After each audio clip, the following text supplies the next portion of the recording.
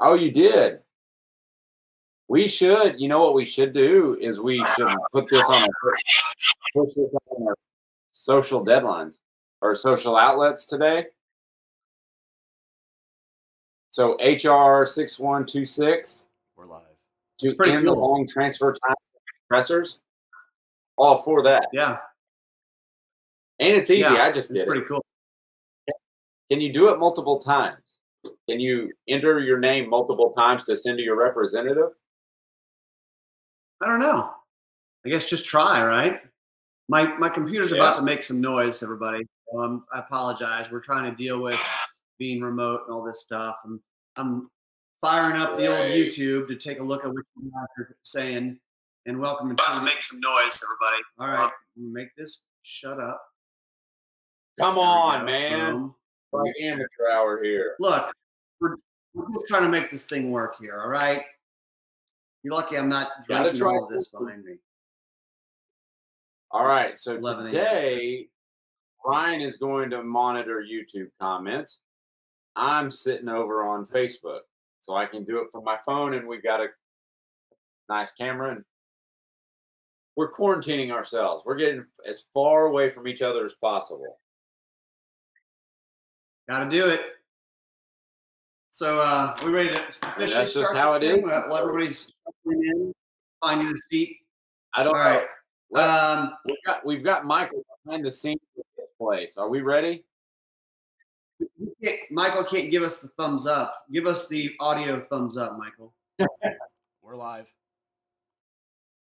We're live. All right. Hey, Cool. welcome, All right. everybody. Welcome. Yeah, welcome to Gun Talk Live. Uh, today's Gun Talk Live is brought to you by Colt, still making history.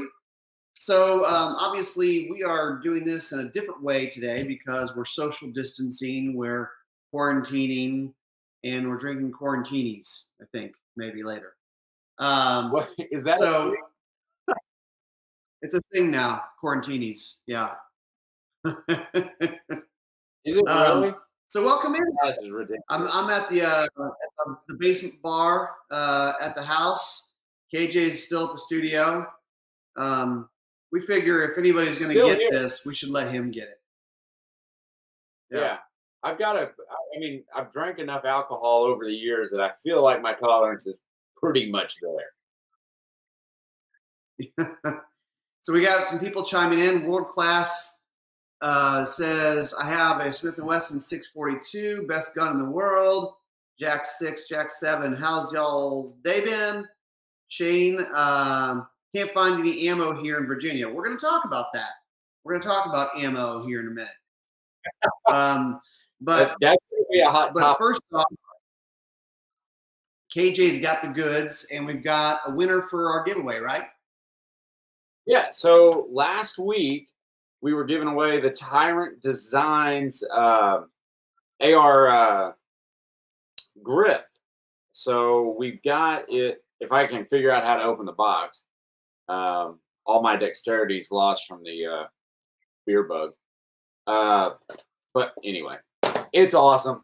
Uh, but uh, Scott Peskin, you won and a lot of you, if you are, um, if you are a fan of FPD, if you're a fan, Scott, you know Scott Peskin.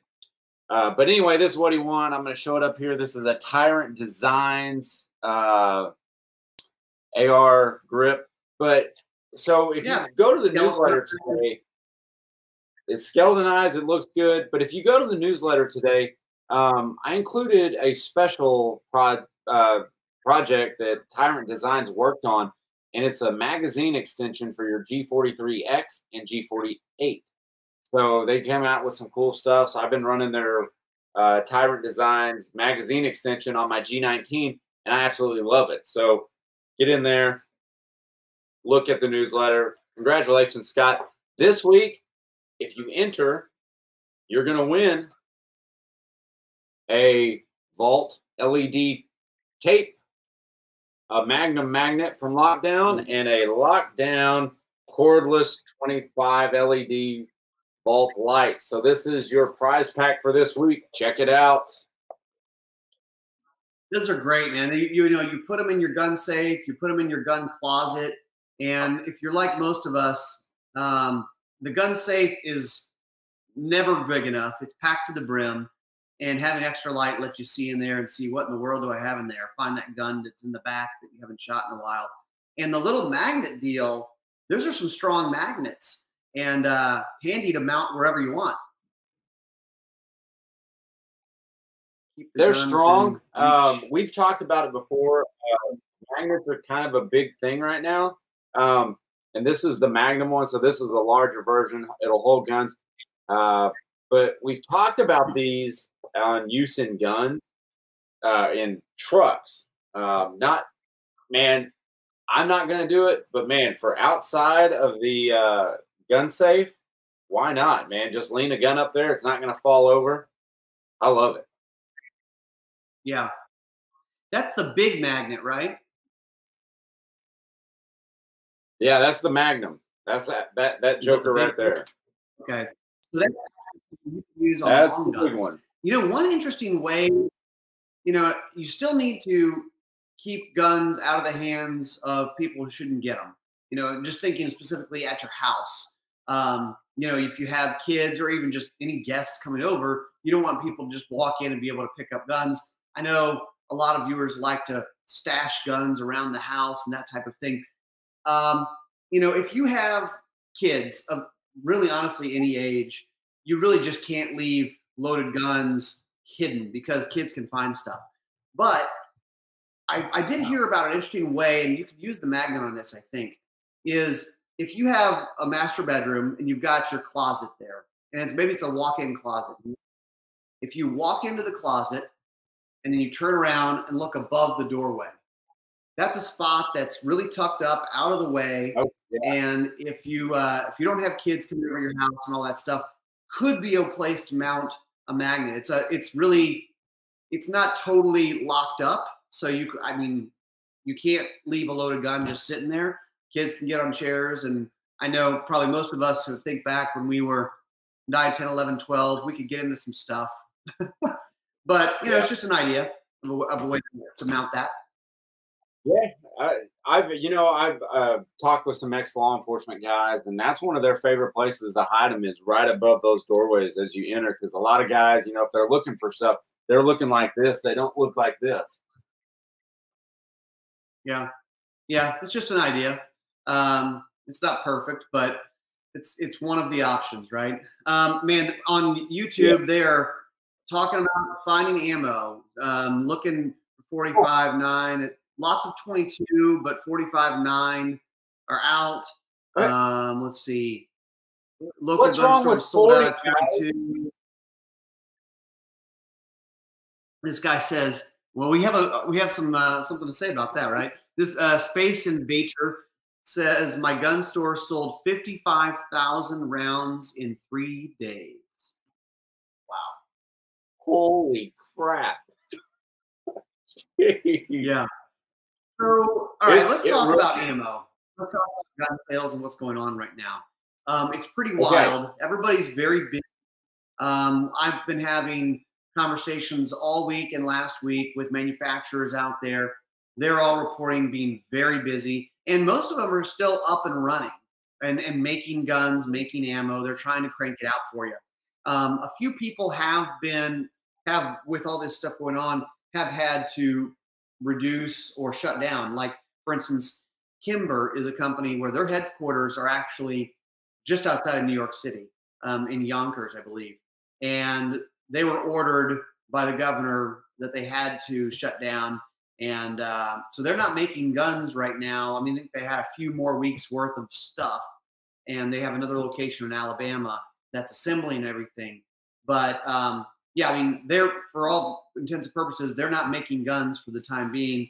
I know Remington, they have several different locations. Their Alabama location is everybody's going to work, everybody's cranking. Um, their Ilion, uh, New York location, again, New York being kind of the epicenter right now, um, they're shut down. They, I think they've got like a million square feet, and they offered to the governor um, that they would start working on other things like trying to build respirators or whatever because ultimately they're a manufacturer and they know how to do that. So um, What are you guys seeing, KJ? What are you hearing out there? It, it, it's it's tough out there now. If you guys keep up with Hornady online, they're really, you know, they're kind of at the forefront. You know, they're Steve Hornady is down producing ammo right now. Jason Hornady is out producing ammo. Those guys are on the front lines. They are actually going in and working to keep that operation running. And and Jason Hornady actually sent out a message yesterday over Hornady's Facebook page that addressed the price gouging, which I thought was actually a really interesting message because you want to hear from these manufacturers. And he said, I mean, his message was point blank we are not changing our prices. That is not on us. It's the retailer. That where that's where those price increases come from. It's not from these manufacturers.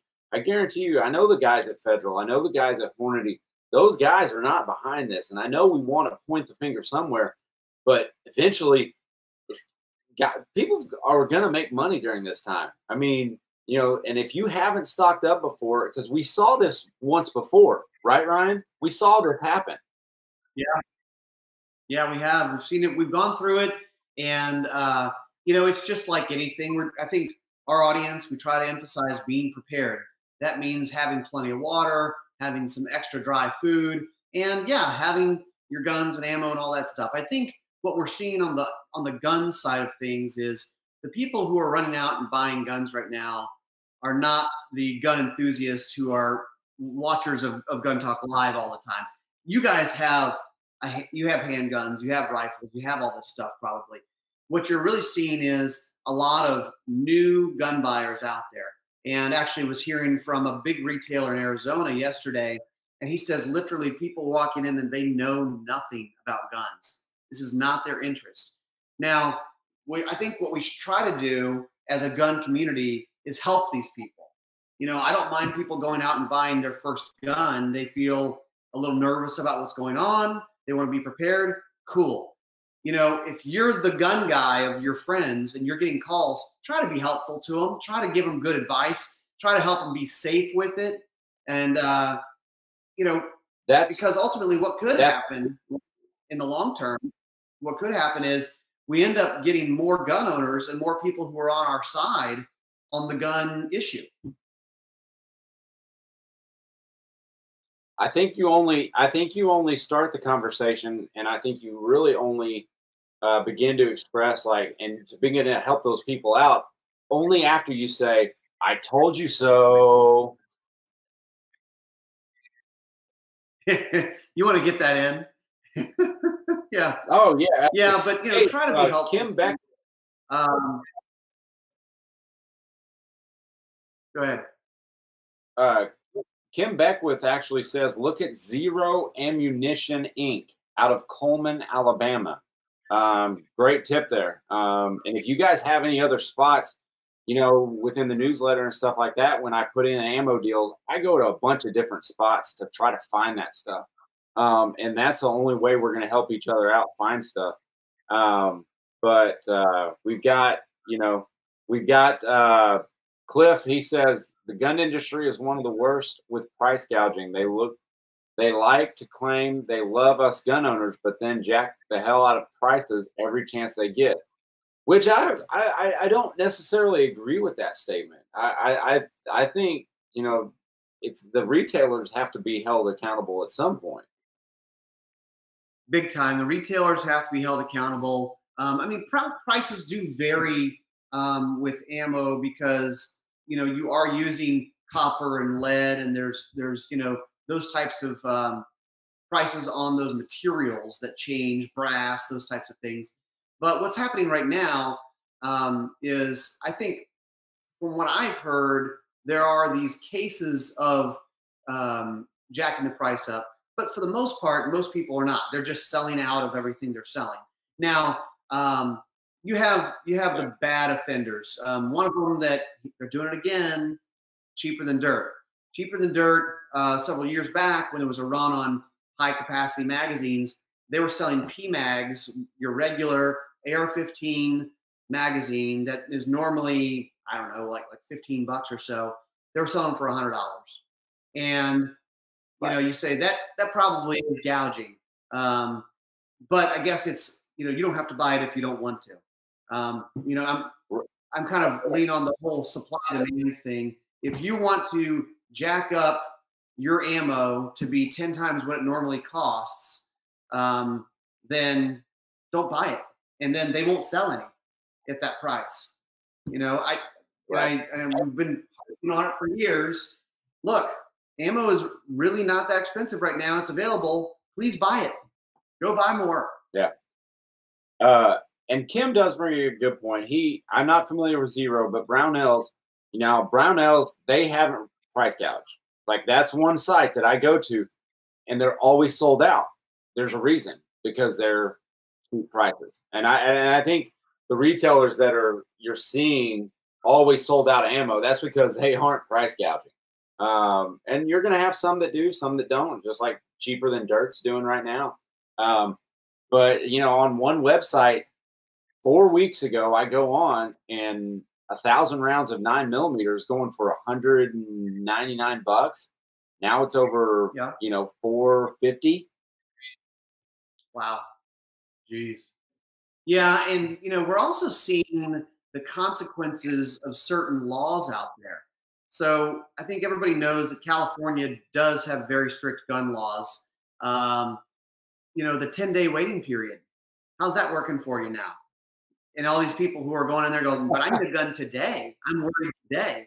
Going, well, you can wait 10 days. Also, no. California just passed the or has had this in, in place for a little while now, is you can't buy ammo online and have it shipped to your house. How's that working for you right now? So, you know, if you're in California and you say, I can't leave, my job's here, my family's here, all that, that's cool, I understand. But you better get involved. You better speak up. And maybe the powers that be and the and the the other side who didn't really give a crap about these laws and didn't understand why it mattered maybe now they'll go oh now i see why this does matter. You know? Yeah. It's it's it's a weird time. We're in a weird time in our our fight for our rights and our fight for our gun rights because now we're starting to see a lot more I think a lot of folks' eyes are starting to open up as to you know why things are the way they should be. You know, I mean, but it's just strange times, man. And hey, guys, don't forget if you guys enter, which by enter I mean leave a comment. Um, you're going to be entered to in this lockdown package here uh, of a light, a magnum magnet, and a set of rope lights. So don't forget to enter to win. Yep. So we were kind of talking the other day about um, holsters and little holster talk, and the, the issue came up about universal holsters. Basically, a holster that's right that fits a lot of different guns. Um, you know, you have your your custom molded stuff. This is kind of a simple one. Custom molded stuff that um, this is for an XDM yeah. and it fits the gun. Although this is not so perfect that it wouldn't work for a lot of probably several different size uh, semi-autos of that nature. Um, I think this is a Bravo concealment one, but um, you know, people will say, "I want the holster for this gun," which is normally yes, that's good. But as far as options go, uh, KJ, what do you have there? And let's talk about the universal holsters. So the universal holster I've got here is a, a uh, DeSantis Variable 87. Um, there's there's a lot to like about universal holsters. Whether you're running out to the local, you know, gas station or just running a quick trip down to the road to Walmart, you know, whatever you're doing, uh, it's easily, you know, it's. And I think that's why people like them is because they're easy. They fit a wide range of guns. Like this one, this variable 87 fits, you know, guns the same size as like a G19. Um, and you know, the sweat guard that comes up, it's it's pliable, so it's not as rigid as you know your Kydex uh, or your uh, polymer, you know, made, you know, form fitted holsters. Um, but the variable 87, I think it's one of the better ones out there for me. Uh, I, I actually do enjoy it. Uh, I worried about the tension on the belt strap here, the belt uh, hook, but it's heavy duty. It's nice and it's tuckable too. So, but you see here. Well, and I think what it does is when you talk about a, is is a universal holster the perfect thing? Probably not. Um, if you're carrying one or two different guns in your regular carry, you know you want to have a holster for that gun. Fits, it's fairly Mm. All that stuff. But having a universal holster or two gives you some options in ways to carry. And frankly, you know, like now, you know, you have if you get a gun or someone is given a gun or whatever, you have a holster that'll work for a lot of different types of guns in that size range. So it just now you don't have to go, oh, I need a holster for this gun. If you have a universal holster or two, um, it gives you some options and some ways to carry it. I actually brought one out that's fairly universal. This is actually a recluse holster that uh, I've got a little Ruger LCP in it, and it works for um, a lot. They have kind of different ones, but this works for several different guns, the Keltecs and the ones of that size and that and that framework. And this is kind of neat because it's actually a pocket holster. It can go in your back pocket, kind of look like a wallet. It can go in your front pocket. They have different variations of it. Um, but it's called Recluse. And then it has this little rubber part, I don't know if you guys can see, that it basically guards the trigger so the trigger can't be um, moved or, or, or, you know, uh, pulled, basically. So that's that's one that I kind of like. That's just an easy one. Um, stick in your pocket and go. Yeah, the, the uh, Falco holsters. Uh, Serdan Barut uh, uh, mentioned those for his XDM. Um, so these aren't just for small guns. I mean, they make you know universal holsters for a wide range. Um, and I think one of the great benefits of having a universal holster is you don't dress the same every day. I mean, there's going to be times when you're out in the lawn, you're working around, you're mowing the lawn, and you do not you you're moving around, so you don't want something that's that's not going to give a little, you know. Right. Absolutely. Um, so real quick, uh, got to pay the bills. Uh, this Gun Talk Live is also brought to you by Ruger, and we can actually just talk about this. So we've been out to the range with a bunch of Ruger products lately. Ruger PC Charger 9mm pistol was released this week. Super cool. Uh, check the description uh, or check the video that we put out there. Um, we've got a video on the Ruger PC Charger.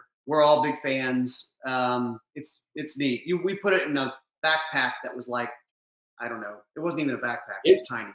It folds Hey down. Ryan, I'm going to tell you that is where that gun is going to stay. I'm sorry. Um, is ownership's like 90 percent of the law. Yeah. Possession. I think that's sure. Um, Yeah. And also the Ruger 5.7. If you guys have not shot the Ruger 5.7 yet, you got to try it out. It has a really nice trigger. We were messing with it yesterday. I mean, I'm rapid firing at this target and it just doesn't move, but it packs a punch. So, you know, they're doing all of that. They've got their Ruger rifles that are um, the precision rifles, kind of change the game as far as affordable precision rifles go. Um, check out Ruger.com to find out more. And then also Sig Sauer. I think you probably heard of them. Sig Sauer, looking for a carry gun, price, capacity, uh, striker fired or double action. It's hard to choose. Sig Sauer makes the decision easier from full size to compact. There is a Sig Sauer pistol for you. Uh, P365, the P320s, and uh, they're they're integrating it with their optics now too. All the red dots, their red dot revolution. But you can go to sigsauer.com Ryan. and find out more there. I am. Yeah. w- I have been waiting. I so I've when that when Shot Show came around and Sig Sauer, you know, launched their wide range of products. They have so much to offer. But when they launched the 365 XL with Romeo Zero, and then a P320 with a Romeo on it, I'm like, yes, send those to me. and so I'm like this this Right. shutdown and, Right. and you know the beer bug and what all we got going on. I'm waiting for those. Like they should be in the mail. Yeah. But they're not. It's killing Yeah. You know, and, and, and that's the other thing is because everything's being bought up, a lot of these manufacturers change what they're doing and adjust. For instance, one manufacturer that is big into long guns that I was talking to, they're not, they've kind of switched over a little bit. They're not building as many bolt action rifles right now, and they're building more of their shotguns, tac shotgun kind of stuff. because that's what people are buying. But um, most of these guys have learned they can't ramp up so much because this could be over in 30 days, and then everything the sales go back to normal. So uh, GKIP Right. says I have the Omnivore. I guess it eats everything. It's an Omnivore holster. Nice. That, that's yeah, that's a good name. That's clever. Uh, the uh, Kim Beckwith has a 320 uh, with a Bruce Gray trigger. Says it's awesome. Bruce Gray trigger job. It's awesome. Uh, and Mike Hollins she says, "Got any Macallan 12 year on that shelf behind you?" Uh, I think I've got. I do have some Macallan back there. I think. Oh, I've got some Glenlivet. That's what I got. I got Glenlivet, and I. I got. I'm not as much of a Scotch guy, or I'm more of a bourbon guy, but I'm honestly a fan of all of it. Uh, just depends on the mood. But we got a little bit of everything. We got some mezcal. We got a little bit of everything here.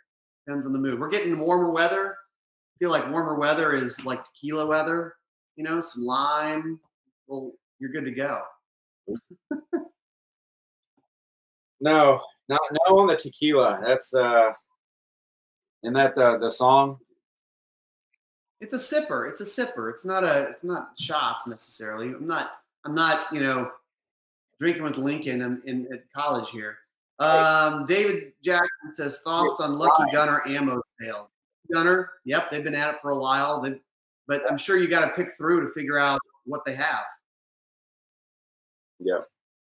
Uh, hey Ryan, I do want to say one thing, and I, I meant to say it on the front of the hour or however long we've been on, but I wanted to say one of us is working in the office and one of us is working from home. So I want the viewers to decide who's not wearing pants. but the important note is you're the only one at the office. Everybody else is working remote. I think there's there's something with KJ the- wants to be at the office. The wife and kids are going to interrupt you or or whatever. He's like, no, no, I got to go to the office. He hasn't even told his wife yet that he's allowed to work from home. Probably. Yep. Ver, uh, so Steve has a Versacarry for his Shield and little LC9. See, you get back to this universal holster question, and a lot of guys will poo poo. Um, but I, I, I'm a fan. I'm a fan. You know, I can actually, and I met a lot of guys who are like this. It's when I didn't know anything and I bought my first handgun. What What do you think the odds are? What do you think the holster I bought was? I think it was a Serpa. Oh, that's close. It's close, but no, it was an Uncle Mike's because I was like, well, I'm going to carry it all the time in the field and hunting, and I Yeah. found out real quick that didn't work. It it just did not work. Yeah. So that's the thing. When you talk about universal holsters, um, one of the things you got to be mindful of is does it still do the job of what a holster is supposed to do? One of it, one of the things is carry the gun securely. Another thing is Right. keep the gun going off in your pants or wherever you're carrying it. And um, there are certain universal holsters. Someone mentioned a Versacarry. Now, Versacarry has the universal uh, squishy leather holsters, but they they also I don't know if they still do. They had one that was just like a stick, and Yeah. the trigger wasn't completely covered up. So there's a concern there that you could snag the trigger on your clothing or somehow get your finger in there, and you don't want to have the gun go off as you're putting the gun on or taking the gun out. So just just always keep that in mind on the universal holster stuff that the trigger is covered up and you can't possibly pull the trigger by accident or or snag it on some clothing or something like that. Right. I like the I like the sticky holsters. The sticky holsters makes a great holster. I mean, it's they're great stuff. It's Yeah. great stuff. I mean, there's there's a lot of good manufacturers of universal holsters that I, I don't think people should should discount them so quickly. Uh, Victor says the the Nate 2 tactical holster, which actually is part of the crossbreed holster family now. So yeah, Nate 2 is an, an option um, that they make a bunch of different stuff, and uh, I know they're cranking. They're making these this stuff, and so all these new gun buyers, uh, new gun owners that are carrying around, get a good holster. Don't just stick it in your pocket. um, so you know, Perfect. one last thing on I'm kind of wrapping it up. So tell them again if they comment, they're entered to win what? They're gonna get a, all from lockdown. Lockdown and the pucks are coming very soon. I know you guys are waiting for them, but they're coming very soon. But you get some a Vault LED tape light, you get a Magnum uh, magnet, and you get two. Look at that LED lights. So they're cordless, chargeable, whatever. You just press them, they light up your life. So that's what they get. Um, and those will be shipped out next week. We'll announce the winner here. Uh, we'll do another live next week, but uh, you guys stay tuned. And don't forget, guys, Gun Talk Nation has launched. We are doing Gun Talk Nation, and I saw Mr. Paul Markel sitting in there uh, listening to this and watching this broadcast. So maybe we could get Paul on our Gun Talk Nation podcast. I'd love to. I'd love to. Yeah, we need to get Paul lined up for some Gun Talk Nation podcasting. But yeah, for all of our podcast stuff, um, wherever you listen to, however you listen to podcasts, you could probably find us on Apple, on uh, Stitcher app, on whatever podcast podcaster thing you do. Um, look us up there. Also, sign up for the newsletter. We're sending out good content. We're also sending out deals. There was a deal uh, email that went out today about magazines and mag extensions. So KJ's looking for that stuff all the time on the Gun Dealio smartphone app. Dun- download the Gun Dealio smartphone app. Jamie in our office is scouring the web for deals and what's out there. So ammo, guns, all that stuff. Yeah.